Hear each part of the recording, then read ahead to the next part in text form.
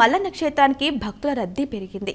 ఆదివారం కావడంతో భక్తులు మొక్కులు తీర్చుకునేందుకు భారీగా తరలివచ్చారు. తెల్లవారుజాము నుంచే భక్తులు పాతాళ గంగలో పుణ్యస్నానాలు ఆచరించి శ్రీ భ్రమరాంబ మల్లికార్జున స్వామి అమ్మవార్ల దర్శనార్థమై క్యూ లైన్లలో బారులు తీరారు. శ్రీ స్వామి అమ్మవారి దర్శనానికి సుమారు నాలుగు గంటల సమయం పట్టింది.